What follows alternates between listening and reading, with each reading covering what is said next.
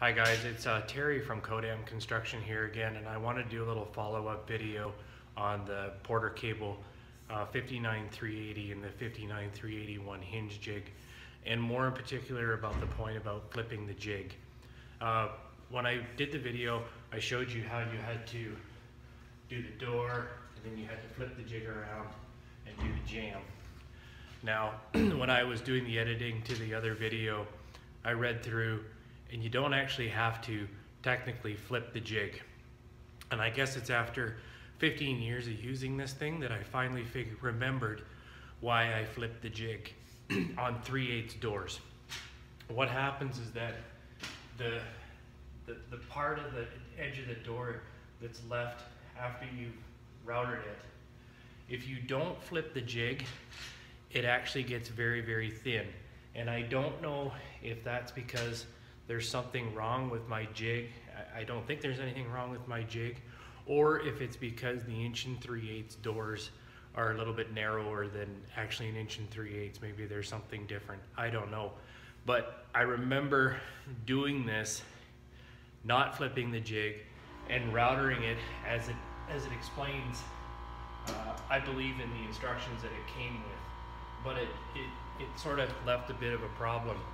So maybe with the inch and three quarters doors you won't you won't be left with such a, a, a, razor thin amount at the edge of the door. So technically you don't have to flip the jig. It's just one of those best practices.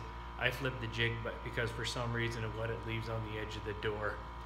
So the other thing that I wanted to clear up that I left in the comments too, or I'm sorry, in the descriptions was the, the 5 8 uh, radius hinge setup with the inch and a quarter bit as well as the template guide. It does not come with the kit. You have to buy that extra. And once again, I put uh, in the description of the first video, you can only get those at amazon.com.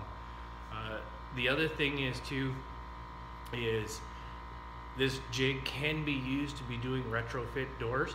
I personally have no experience doing that because I've never had a job that called for me to do that. Uh, however, it can be done to do that.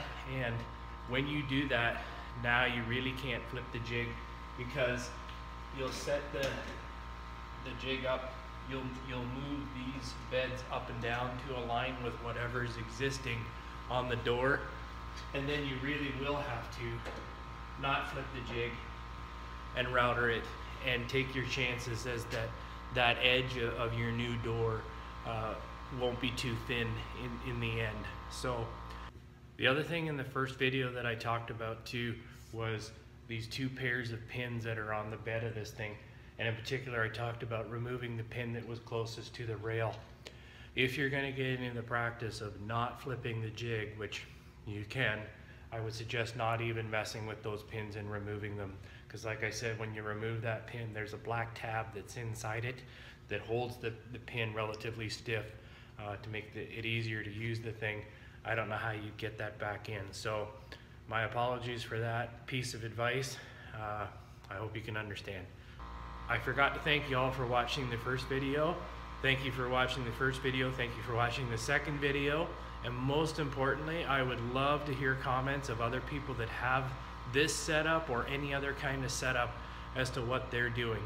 Uh, I found that I can do a door uh, router the door and the jamb in under 15 minutes a door. That doesn't include assembly and all the other things that go along with it. Uh, it I found that it, it does work very quickly for me. Anyway, thanks for watching and uh, we hope to hear from you all soon.